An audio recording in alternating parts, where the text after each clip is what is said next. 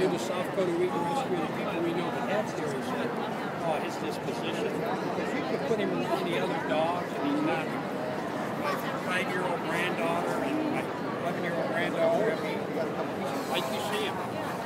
I mean, he's vibes with the dogs. Mick.